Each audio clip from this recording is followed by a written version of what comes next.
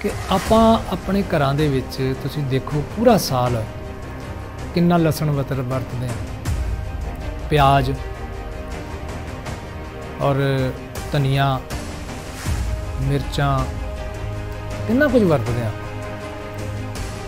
ਲੇਕਿਨ ਤੁਸੀਂ ਧਿਆਨ ਕਰੋ ਕਿ ਆਪਾਂ ਕਿੰਨਾ ਕੁਝ ਬਾਜ਼ਾਰੋਂ ਲੈ ਕੇ ਆਉਂਦੇ ਕਿਸਾਨ ਨੂੰ ਰੱਬ ਨੇ ਇੱਕ ਐਸੀ ਨਿਆਮਤ ਦਿੱਤੀ ਹੈ ਜਿਹੜੀ ਹੋਰ ਕਿਸੇ ਕੋਲੇ ਨਹੀਂ।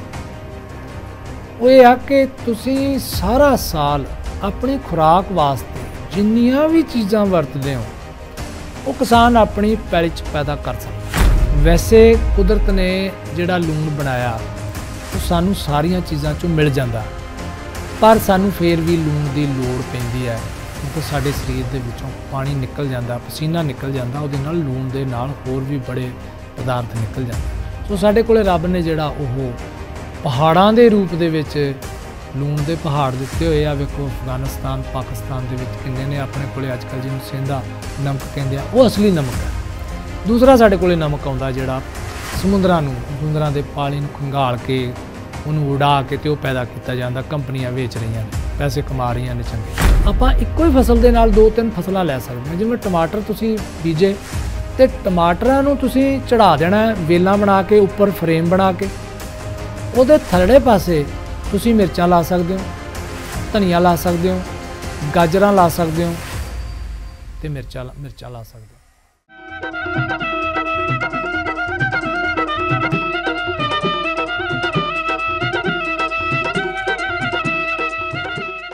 ਕਿਸਾਨ ਭੈਣੋ ਤੇ ਭਰਾਓ, ਸਤਿ ਸ਼੍ਰੀ ਅਕਾਲ। ਤੁਹਾਨੂੰ ਜੀ ਆਇਆਂ ਪ੍ਰੋਗਰਾਮ ਦੇ ਵਿੱਚ। ਅੱਗੇ ਵੀ ਤੁਹਾਡੇ ਨਾਲ ਮੈਂ ਇੱਕ ਦੋ ਵਾਰੀ ਗੱਲ ਕੀਤੀ ਹੈ।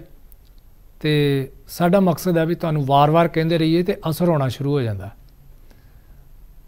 ਸੋ ਇਸ ਕਰਕੇ ਤੁਹਾਡੇ ਫਾਇਦੇ ਦੀ ਗੱਲ ਹੈ। ਉਹ ਗੱਲ ਇਹ ਹੈ ਕਿ ਆਪਾਂ ਆਪਣੇ ਘਰਾਂ ਦੇ ਵਿੱਚ ਤੁਸੀਂ ਦੇਖੋ ਪੂਰਾ ਸਾਲ ਕਿੰਨਾ ਲਸਣ ਵਤਰ ਵਰਤਦੇ ਆ ਪਿਆਜ਼ ਔਰ ਧਨੀਆ, ਮਿਰਚਾਂ ਕਿੰਨਾ ਕੁਝ ਵਰਤਦੇ ਆ ਆਪਾਂ। ਲੇਕਿਨ ਤੁਸੀਂ ਧਿਆਨ ਕਰੋ ਕਿ ਆਪਾਂ ਕਿੰਨਾ ਕੁਝ ਬਾਜ਼ਾਰੋਂ ਲੈ ਕੇ ਆਉਨੇ ਆ ਇਹਦੇ ਨਾਲ ਅਸੀਂ ਜਿਹੜਾ ਫਰੂਟ ਵੀ ਬੜਾ ਵਰਤਣਾ ਸ਼ੁਰੂ ਹੋ ਗਿਆ ਹੁਣ, ਕਿਉਂਕਿ ਲੋਕਾਂ ਦੇ ਵਿੱਚ ਜਾਗਰੂਕਤਾ ਆ ਗਈ ਹੈ। ਇਸ ਕਰਕੇ ਫਰੂਟ ਡਾਕਟਰ ਕਹਿੰਦੇ ਆ, ਖਾਓ, ਮੌਸਮੀ ਫਰੂਟ ਖਾਓ। ਅੱਜ ਕੱਲ ਤੇ ਬਾਹਰ ਦਾ ਫਰੂਟ ਸਾਡੇ ਕੋਲੇ ਆਉਣ ਲੱਗ ਪਿਆ ਤੇ ਬੱਚੇ ਜਿਹੜੇ ਆ, ਉਹ ਬਾਹਰ ਦਾ ਫਰੂਟ ਵੀ ਖਾਂਦੇ ਆ, ਵਿਆਹਾਂ ਸ਼ਾਦੀਆਂ 'ਚ ਵੀ ਖਾਦਾ ਜਾਂਦਾ। ਸੋ ਸਾਡੇ ਖਾਣ ਵਾਲੀਆਂ ਚੀਜ਼ਾਂ। ਦੂਸਰੇ ਪਾਸੇ ਅਸੀਂ ਦਾਲਾਂ ਕਿੰਨੀਆਂ ਵਰਤਦੇ ਆ? ਮਸਾਲੇ ਵੇਖੋ ਕਿੰਨੇ ਵਰਤਦੇ ਆ। ਜਵੈਣ, ਸੌਂਫ, ਹਲਦੀ, ਇਹ ਸਾਰਾ ਕੁਝ ਵਰਤਦੇ ਆ। ਕਿਸਾਨ ਨੂੰ ਰੱਬ ਨੇ ਇੱਕ ਐਸੀ ਨਿਆਮਤ ਦਿੱਤੀ ਹੈ, ਜਿਹੜੀ ਹੋਰ ਕਿਸੇ ਕੋਲੇ ਨਹੀਂ। ਉਹ ਇਹ ਆ ਕਿ ਤੁਸੀਂ ਸਾਰਾ ਸਾਲ ਆਪਣੀ ਖੁਰਾਕ ਵਾਸਤੇ ਜਿੰਨੀਆਂ ਵੀ ਚੀਜ਼ਾਂ ਵਰਤਦੇ ਹੋ, ਉਹ ਕਿਸਾਨ ਆਪਣੀ ਪੈਲੀ 'ਚ ਪੈਦਾ ਕਰ ਸਕਦਾ। ਹੁਣ ਤੁਸੀਂ ਕਹੋਗੇ ਜੀ, ਮਸਾਲੇ ਬੜੇ ਨੇ, ਉਹ ਅਸੀਂ ਕਿੱਥੋਂ ਪੈਦਾ ਕਰ ਲਈਏ? ਮੇਰੇ ਕਹਿਣ ਦਾ ਭਾਵ ਸੀ ਕਿ ਕਿਸਾਨ ਕਿਸਾਨ ਜਿਹੜਾ ਉਹ ਕੱਲਾ ਪੰਜਾਬ ਦਾ ਨਹੀਂ, ਜਿਹੜਾ ਕਿਸਾਨ ਜੰਮੂ ਕਸ਼ਮੀਰ 'ਚ ਆ, ਉਹ ਤੁਹਾਡੇ ਲਈ ਕੇਸਰ ਪੈਦਾ ਕਰ ਦਿੰਦਾ ਹੈ। ਜਿਹੜਾ ਕਿਸਾਨ ਕਿਸੇ ਸਾਊਥ ਵਾਲੇ ਪਾਸੇ ਆ, ਉਹ ਕੋਈ ਹਲਦੀ ਵੀ ਪੈਦਾ ਕਰਦਾ ਹੈ, ਕੋਈ ਅਦਰਕ ਵੀ ਪੈਦਾ ਕਰਦਾ, ਆਪਣੇ ਵੀ ਇੱਥੇ ਆਉਣ ਲੱਗ ਪਿਆ। ਦੂਸਰੇ ਮਸਾਲੇ ਨੇ ਜਿਹੜੇ, ਉਹ ਦੂਸਰਿਆਂ ਥਾਵਾਂ ਤੇ ਹੁੰਦੇ ਆ, ਅਸੀਂ ਕਣਕ ਪੈਦਾ ਕਰਦੇ ਪਏ ਆ। ਮੱਕੀ, ਜਵਾਰ ਖਾਣ ਵਾਲੀਆਂ ਚੀਜ਼ਾਂ, ਸਬਜ਼ੀਆਂ ਪੈਦਾ ਕਰਦੇ ਆ। ਫਲ ਸਾਡੇ ਕੋਲੇ ਜਿਹੜਾ ਜੰਮੂ ਕਸ਼ਮੀਰ ਦਾ ਕਿਸਾਨ ਹੈ, ਉਹ ਸਾਡੇ ਲਈ ਸੇਬ ਭੇਜ ਦਿੰਦਾ ਹੈ ਉੱਥੋਂ। ਇਹ ਏਰੀਆ ਇਥੋਂ ਬੇਰ ਚਲੇ ਜਾਂਦੇ ਆ ਉੱਥੇ। ਸੋ ਕਿਸਾਨ ਸਾਰੇ ਦੀ ਗੱਲ ਕਰਦਾ ਮੈਂ। ਸੋ ਆਪਾਂ ਕਿਸਾਨ ਨੂੰ ਆਪਣੇ ਖੇਤ ਵਿੱਚ ਹਰ ਚੀਜ਼ ਮਿਲ ਜਾਂਦੀ ਹੈ, ਜਿਹੜੀ ਉਹਨੂੰ ਪੂਰਾ ਸਾਲ ਲੋੜ ਹੈ। ਹੁਣ ਤੁਹਾਡੇ ਵਿੱਚੋਂ ਕਈ ਸਵਾਲ ਕਰਨਗੇ, ਉਹਨਾਂ ਦੇ ਮਨ 'ਚ ਹੋਏਗਾ ਵੀ ਲੂਣ ਕਿੱਥੋਂ ਲੈ ਕੇ ਆਈਏ? ਵੈਸੇ ਕੁਦਰਤ ਨੇ ਜਿਹੜਾ ਲੂਣ ਬਣਾਇਆ ਉਹ ਸਾਨੂੰ ਸਾਰੀਆਂ ਚੀਜ਼ਾਂ 'ਚੋਂ ਮਿਲ ਜਾਂਦਾ। ਪਰ ਸਾਨੂੰ ਫੇਰ ਵੀ ਲੂਣ ਦੀ ਲੋੜ ਪੈਂਦੀ ਹੈ, ਕਿਉਂਕਿ ਸਾਡੇ ਸਰੀਰ ਦੇ ਵਿੱਚੋਂ ਪਾਣੀ ਨਿਕਲ ਜਾਂਦਾ, ਪਸੀਨਾ ਨਿਕਲ ਜਾਂਦਾ, ਉਹਦੇ ਨਾਲ ਲੂਣ ਦੇ ਨਾਲ ਹੋਰ ਵੀ ਬੜੇ ਪਦਾਰਥ ਨਿਕਲ ਜਾਂਦੇ ਆ। ਸੋ ਸਾਡੇ ਕੋਲੇ ਰੱਬ ਨੇ ਜਿਹੜਾ ਉਹ ਪਹਾੜਾਂ ਦੇ ਰੂਪ ਦੇ ਵਿੱਚ ਲੂਣ ਦੇ ਪਹਾੜ ਦਿੱਤੇ ਹੋਏ ਆ। ਵੇਖੋ ਅਫਗਾਨਿਸਤਾਨ, ਪਾਕਿਸਤਾਨ ਦੇ ਵਿੱਚ ਕਿੰਨੇ ਨੇ ਆਪਣੇ ਕੋਲੇ ਅੱਜ ਕੱਲ੍ਹ ਜਿਹਨੂੰ ਸਿੰਧਾ ਨਮਕ ਕਹਿੰਦੇ ਆ, ਉਹ ਅਸਲੀ ਨਮਕ ਹੈ। ਦੂਸਰਾ ਸਾਡੇ ਕੋਲੇ ਨਮਕ ਆਉਂਦਾ ਜਿਹੜਾ ਸਮੁੰਦਰਾਂ ਨੂੰ, ਸਮੁੰਦਰਾਂ ਦੇ ਪਾਣੀ ਨੂੰ ਖੰਗਾਲ ਕੇ, ਉਹਨੂੰ ਉਡਾ ਕੇ ਤੇ ਉਹ ਪੈਦਾ ਕੀਤਾ ਜਾਂਦਾ, ਕੰਪਨੀਆਂ ਵੇਚ ਰਹੀਆਂ ਨੇ, ਪੈਸੇ ਕਮਾ ਰਹੀਆਂ ਨੇ ਚੰਗੇ।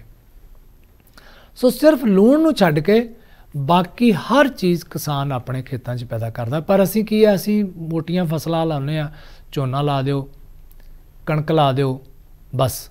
ਤੇ ਇਹਦੇ ਨਾਲ ਕਰ ਲਓ ਤੇ ਬਾਕੀ ਬਾਜ਼ਾਰੋਂ ਲੈ ਕੇ ਆਓ। ਕਿਸਾਨ ਖੁਦ ਵੇਖੇ ਅਸੀਂ ਜਿਹੜੇ ਸ਼ਹਿਰਾਂ ਤੋਂ ਸਬਜ਼ੀਆਂ ਲੈ ਕੇ ਅਸੀਂ ਆਉਂਦੇ ਆ ਪਰ ਜੇਕਰ ਆਪਾਂ ਇੱਕ ਛੋਟੀ ਜੀ ਬਗੀਚੀ ਆਪਣੇ ਖੇਤਾਂ ਦੇ ਵਿੱਚ ਬਣਾ ਲਈਏ, ਜੇ ਤੁਹਾਡੇ ਕੋਲੇ 2 ਕਿੱਲੇ ਆ ਤੇ ਅੱਧੀ ਕਨਾਲ ਰੱਖ ਲਓ।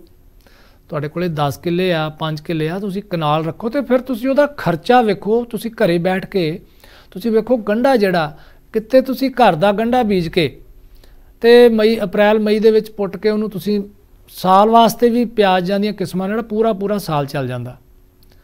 ਤਾਂ ਤੁਸੀਂ ਦੇਖੋ ਕਿ ਕਿੱਥੇ ਪਿਆਜ਼ ਜਿਹੜਾ ਉਹ 8-10 ਰੁਪਏ ਕਿਲੋ ਮੰਡੀ ਦੇ ਵਿੱਚ ਮਿਲ ਜਾਂਦਾ 11-12 ਰੁਪਏ। ਤੇ ਇੱਕ ਸਮਾਂ ਆਉਂਦਾ ਹੈ, ਇਹਨਾਂ ਦਿਨਾਂ ਦੇ ਵਿੱਚ ਖਾਸ ਤੌਰ ਤੇ ਜਦੋਂ ਸਿਆਲ ਹੁੰਦਾ ਉਦੋਂ ਪਿਆਜ਼ ਤੁਹਾਨੂੰ ਜਿਹੜਾ ਉਹ 30 35 40 50 100 ਤੱਕ ਵੀ ਪਿਆਜ਼ ਚਲਿਆ ਗਿਆ। ਇਹ ਵਪਾਰੀਆਂ ਦੀ ਜਿਹੜੀ ਆ, ਉਹ ਇੱਕ ਚਾਲ ਹੁੰਦੀ ਆ ਭਾਵੇਂ, ਪਰ ਇਹ ਕਿ ਜੇ ਤੁਸੀਂ ਸਾਰਾ ਪਿਆਜ਼ ਘੱਟੋ ਘੱਟ 8-10 ਮਹੀਨਿਆਂ ਵਾਸਤੇ ਤਾਂ ਪਿਆਜ਼ ਆਪਾਂ ਘਰੇ ਰੱਖ ਸਕਦੇ ਹਾਂ ਨਾ, ਵੇਖੋ ਕਿੰਨਾ ਪੈਸਾ ਬਚਦਾ।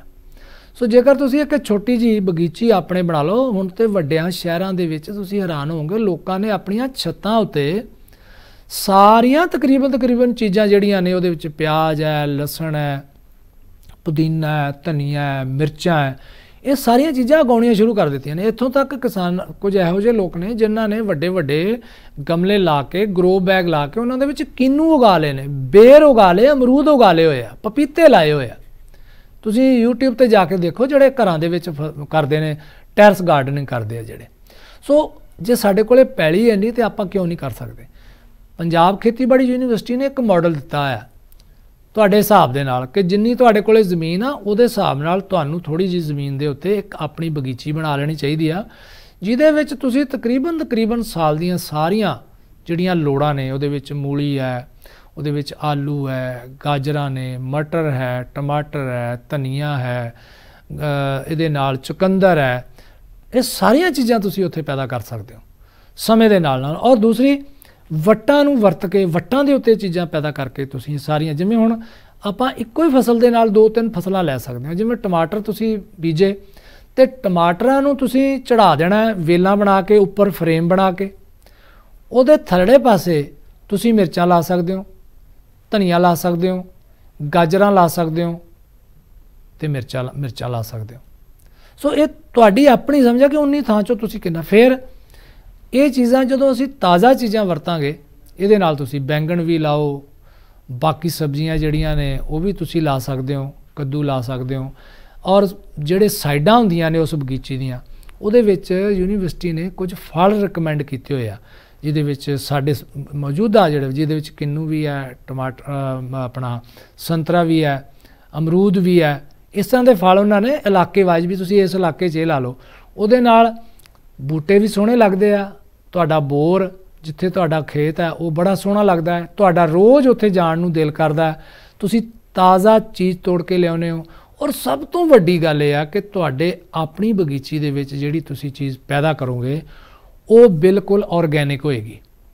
ਅਸੀਂ ਤੇ ਤੁਹਾਨੂੰ ਇਹ ਵੀ ਕਹਿੰਦੇ ਆ ਕਿ ਜਿਹੜੀਆਂ ਦੂਸਰੀਆਂ ਚੀਜ਼ਾਂ ਦੂਸਰੇ ਲੋਕਾਂ ਨੂੰ ਵੀ ਅਸੀਂ ਵੇਚਦੇ ਆ ਸਬਜ਼ੀਆਂ ਨੇ ਚਾਹੇ ਫਸਲਾਂ, ਉਹਨਾਂ ਵਿੱਚ ਵੀ ਸਿਰਫ ਦਵਾਈਆਂ ਤੇ ਖਾਦਾਂ ਦੀ ਉਨੀ ਵਰਤੋਂ ਕਰੋ ਜਿੰਨੀ ਸਿਫਾਰਿਸ਼ ਕੀਤੀ ਹੁੰਦੀ ਹੈ, ਕਿਉਂਕਿ ਤੁਹਾਡੇ ਤੋਂ ਜਿਹੜੀ ਚੀਜ਼ ਜਾਣੀ ਆ ਦੂਸਰੇ ਲੋਕਾਂ ਤੱਕ, ਉਹ ਵੀ ਕਿਸੇ ਬੱਚਿਆਂ ਨੇ ਖਾਣੀ ਆ। ਸੋ ਦੂਸਰੇ ਦੇ ਬੱਚਿਆਂ ਦਾ ਵੀ ਸਾਨੂੰ ਖਿਆਲ ਰੱਖਣਾ ਚਾਹੀਦਾ ਹੈ ਨਹੀਂ ਕਿ ਅਸੀਂ ਆਪਣੇ ਲਈ ਆਰਗੈਨਿਕ ਪੈਦਾ ਕਰ ਲਈਏ, ਪਰ ਦੂਜਿਆਂ ਲਈ ਨਾ ਕਰੀਏ, ਇਹ ਵੀ ਇੱਕ ਬਹੁਤ ਵੱਡਾ ਜਿਹੜਾ ਪਾਪ ਹੈ।